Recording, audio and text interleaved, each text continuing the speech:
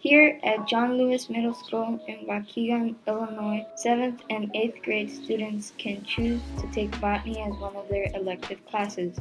The school's greenhouse was built using a grant from Abbott Laboratories in Waukegan, Illinois. The purpose of the grant was to teach and inspire students about sustainability. The goals of the program is to show the students the idea of seed to table, that they can start with a seed, plant it, cultivate it, take care of it, harvest it, and actually eat it. So this is the start of a strawberry. John Lewis Greenhouse has three growing systems. The first system is aquaponics. Aquaponics is a way to grow plants using fish as the primary source of nutrition. No soil is used in an aquaponics system. Instead, the fish are kept and fed in tanks. Their waste, which produces ammonia, is taken out of the tanks into additional tanks where it combines with bacteria being grown in other tanks. The combination of ammonia and bacteria create nitrate, the nitrate in the water is pumped into a large bed, like a pool, where newly germinated plants sit in rafts.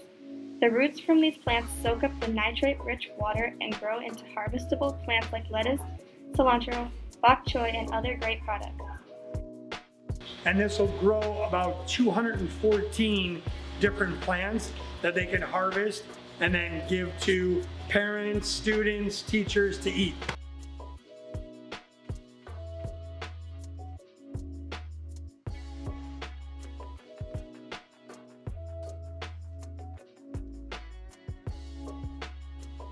The second system is hydroponics aeroponics. This type of growing uses water and nutrients to help plants suspended in the air grow. Our greenhouse has 28 tower gardens. At one time, we had 1,100 plants growing just inside the greenhouse.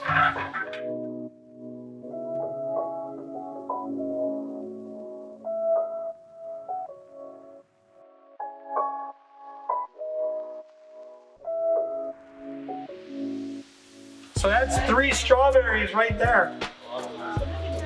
This one's starting to bloom right here. The third system is raised beds. The greenhouse has 24 raised beds. These are the typical outdoor growing plots where seeds are planted in the soil, watered and maintained. Since we live in the Midwest, the growing season for the raised beds is the fall and spring for school purposes, but it is kept going over the summer. Students participate by planting, doing maintenance, and harvesting the crops. The first semester students planted the garlic in the in the fall, so in the spring, the second semester students will harvest the garlic. So it's all about do for the future. There is also a compost bin which is used to help reduce the amount of trash that is thrown away and to help develop new soil. The goal of students is to develop a learning experience where students from other schools in the district can come learn all about the amazing things they are doing as middle school students. One of our projects that we're working on is ABC Greenhouse Books. We're using Canva and we're going to make actual books to give to little kids when they come to visit the greenhouse. And when they leave, they're gonna have actual books. They wanted to make tie-dye shirts. And you can go to a store and buy tie-dye ink, but it's got lots of chemicals. So the botany class found that you can actually make tie-dyes out of plants. And they're starting their own company called Greenhouse Gear, where they're gonna be selling these tie-dye shirts.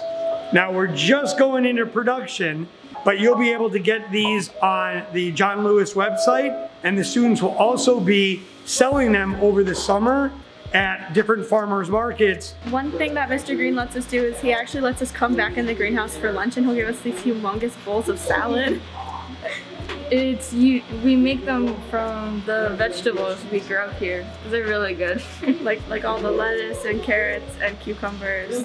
We've made salsa, we've made jalapeno poppers. The kids really love Smoothie Fridays. It's amazing. It's better than school lunch. I enjoy when we're allowed to taste what we make and then spend time with each other and kind of joke and laugh. Sometimes we come to the greenhouse during advisory to help feed the fish and just water our strawberry plants. And every Tuesdays and Thursdays, we go to the we go to the office and we go do the announcements talking about um, either the fruit or vegetable that we're gonna have that we're gonna be having that day. We try to explain to the students that this is something they can do at home. It doesn't have to be a school thing. And a lot of the students are actually starting gardens at home so they can learn that they can produce foods for themselves at home, which is a great skill that really doesn't get taught in a book, but gets taught here at John Lewis Middle School.